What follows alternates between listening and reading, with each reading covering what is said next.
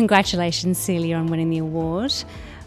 Markus, I just wanted to start with you. Would you talk a little bit about your relationship with Celia? Oh, well, Celia edited my first two books, and uh, you know, she was just so perfect in, in everything she did, in that she let me run when I needed to run and reeled me in when she needed to do that. And I think that's a great editor. A great editor knows when to keep you comfortable and when to make you a little bit uncomfortable, and that's how you end up with a good book. And Celia, how do you judge that?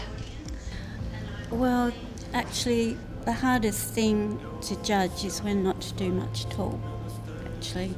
Um, so I really work with my intuition, really, and comes down to the author too, and um, what you know about them and what you feel they can take.